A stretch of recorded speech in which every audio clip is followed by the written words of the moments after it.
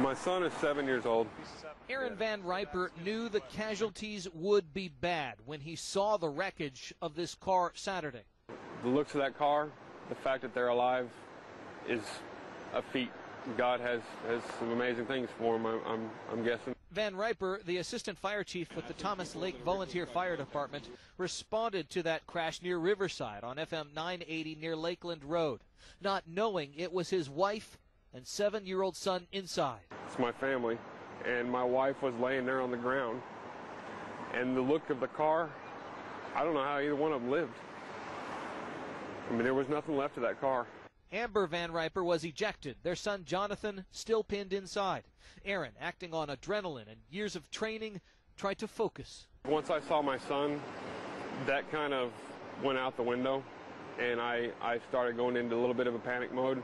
The Huntsville Fire Department was able to get the boy free. Both were rushed by life flight to Memorial Hermann Hospital.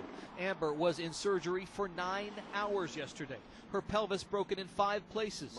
Only this morning did she show improvement. She gave a thumbs up to the doctor, but that's the first time that she showed any signs of anything.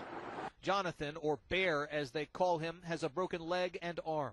Though Amber works full time, the family has no insurance. Friends have launched this GoFundMe page to help with mounting medical bills. Van Riper is thankful. I don't want anything for free. I don't expect anything. If people are willing to donate, that's awesome.